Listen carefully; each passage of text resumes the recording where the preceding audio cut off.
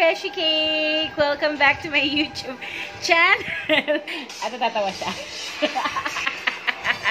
so, ipapakita ko sa inyo ngayon kung paano magluto. Ay, hindi. Mali pala. Hindi naman kasi sobrang major, major cooking ganan.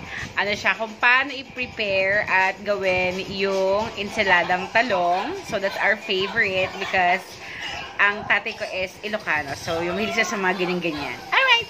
Enjoy!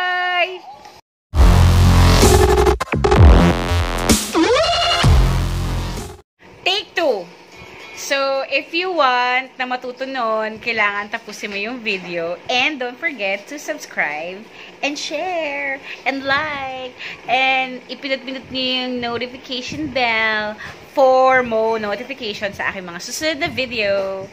Enjoy! Gusto mo yarn? Ganon.